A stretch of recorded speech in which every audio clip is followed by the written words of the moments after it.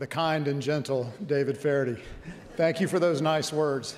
David, on behalf of all of us who watch golf on TV, thank you for the sense of fun that you bring to the game. This is a privilege for me to introduce and set the stage to honor Tim Finchem. Tim has been a part of my life from the day I got on tour in 1986, and he, impro- he has improved my life and the lives of thousands of others immeasurably.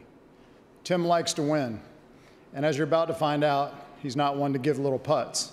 But in the biggest ways, he's one of the most generous people you could ever know.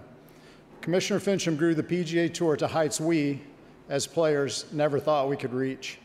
Along the way, he grew our charitable giving into the billions. He constantly reminded us that charity is the foundation for everything we do on the PGA Tour. Tim is a visionary. He launched the President's Cup with a few bold strokes. Flying to a board meeting in early 1994, Tim said to me, Davis, we're going to have a new event. It's going to be called the President's Cup. We're going to play it in mid September. I said, Tim, that's great, but I'll be hunting in Africa in mid September. He said, No, Davis, you're not going to Africa. You're going to Manassas, Virginia, and you're going to play in the first President's Cup. Needless to say, that's what I did. But Tim's go to move as a leader was always to work with others. At building a consensus, he was a plus four handicap. He always listened to player input, and he insisted that players had an equal voice on the board. And consider the groups he put together in establishing the World Golf Hall of Fame, Florida Home, the first tee, and in creating our FedEx playoffs. His devotion to work was legendary. We once went on a fishing trip together in Alaska.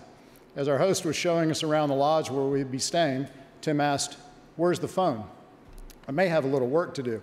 Our host pointed to a closet under the stairs where there was a wall phone and a chair so you could sit and keep your head out of the coat hangers.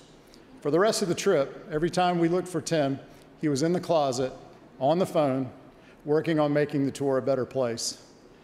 Golf has never had a better friend than Tim Finchem. He's been a great leader for a great organization. I was always proud to call him commissioner, but I was and always will be even more proud to call him a friend. We all know that Tim does not like the attention to be on him, he likes it to be on others.